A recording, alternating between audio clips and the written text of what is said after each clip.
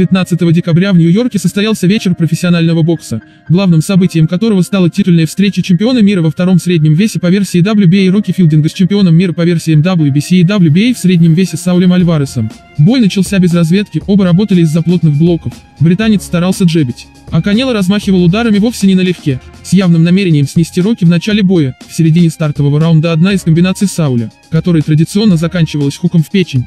Оказалось, результативный филдинг пропустил едва ли не в подмышку, и присел на колено, нокдаун. Ситуация повторилась в конце второго раунда, британцу вновь отсчитали нокдаун после попадания в печень.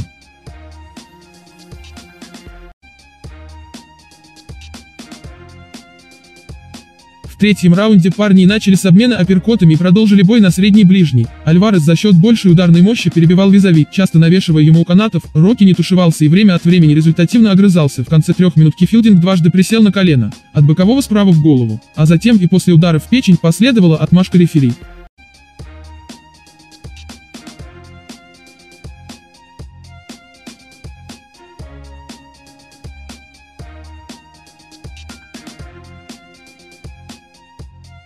Таким образом, самый прибыльный из ныне выступающих боксеров завоевал титул уже в третьем по счету дивизионе. Однако, как вы знаете, это чистая формальность. Так как Филдинг был не настоящим чемпионом, настоящий суперчемпион это Колум Смит.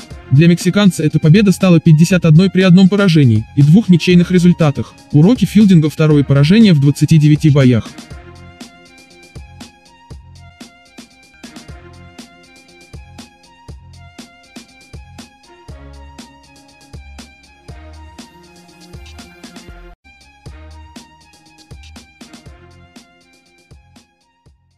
Champions never die.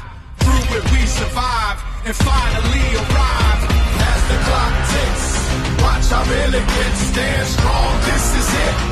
Are you built for this?